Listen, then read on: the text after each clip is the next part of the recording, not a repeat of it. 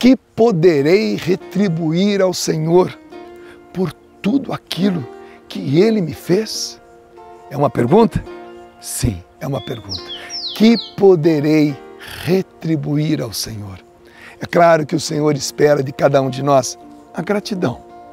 É claro que Ele espera de cada um de nós que nós repliquemos em nossa vida e através da nossa vida, a vida de outras pessoas, aquilo que Ele exerceu com seu amor misericordioso a cada um de nós.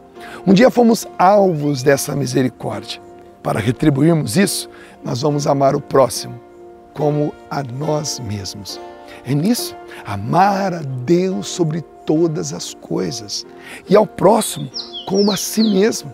Sim, se eu amar o meu próximo, e o meu próximo é aquele que eu me aproximo dele, se eu amá-lo, eu estarei retribuindo ao Senhor, porque tudo o que fizerdes ao mendigo, ao aquele que está encarcerado, ao doente, ao solitário, é a mim que estará fazendo. Já disse o Senhor.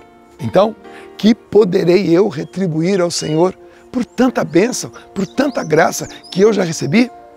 É fácil a resposta. Se abra a restauração do próximo. Eu tenho certeza, você será muito usado por nosso Senhor Jesus Cristo. Salmo 115. Vem comigo nessa evangelização. Eu conto com você. É tão bom saber que você está com a gente. Acione as notificações, comente e espalhe nos seus grupos de WhatsApp. E se você ainda não é assinante, vamos lá, assine esse canal. Vai ser bom ter você comigo. Eu conto com você.